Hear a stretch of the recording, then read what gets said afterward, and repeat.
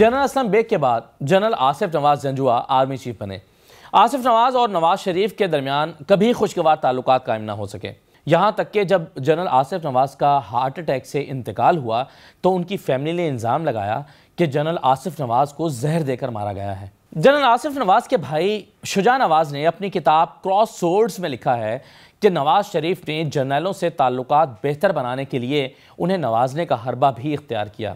ایک بار Shahbaz Sharif army chief general Asif Nawaz کے پاس آئے اور انہیں بی ایم ڈبلیو کی چابیاں پیش کیں اور کہا کہ ابا جی نے یہ تحفہ آپ کو بھیجا ہے۔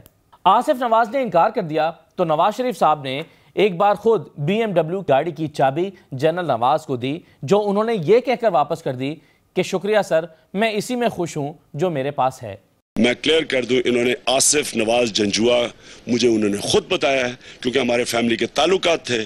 انہوں نے ان کے گھر جا کے بی ایم ڈبلیو دی اور چابی دی کھڑی کر کے اور آصف نواز نے ریفیوز کر دی۔ جنرل آصف جنرل آصف نواز کے بھائی شجاع نواز نے اپنی کتاب میں دعویٰ کیا ہے کہ نواز شریف صاحب تسلسل سے نجی محفلوں میں آرمی چیف کو زدی اور مغرور قرار دے رہے تھے۔ ایسی ہی ایک محفل میں آئی ایس آئی کے بریگیڈیئر امتیاز بھی موجود تھے۔ نواز شریف صاحب نے دہرایا کہ آصف نواز زدی اور گھمنڈی شخص ہیں۔ جس پر بریگیڈیئر امتیاز نے کہا وزیراعظم صاحب، آپ فکر نہ کریں، ہم اسے بھی گل حسن بنا دیں گے۔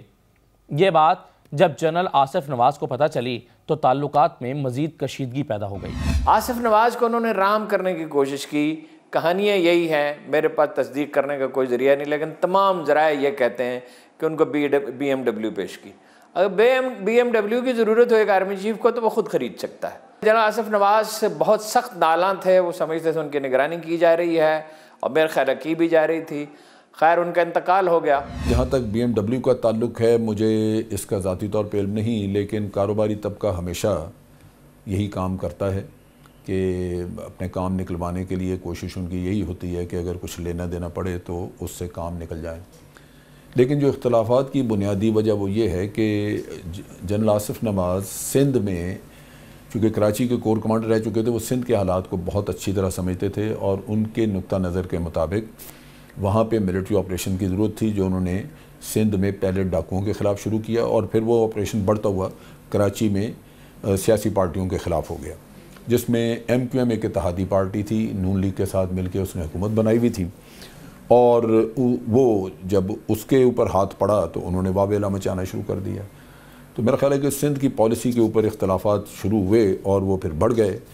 اور آصف نواز چونکہ ایک مضبوط چیف آف آرمی اسٹاف تھے اور ذرا سخت طبع تھے، تو اس لیے میرا خیال ہے کہ نواز شریف صاحب جو ہیں وہ ان کے ساتھ ان کی کچھ بند نہیں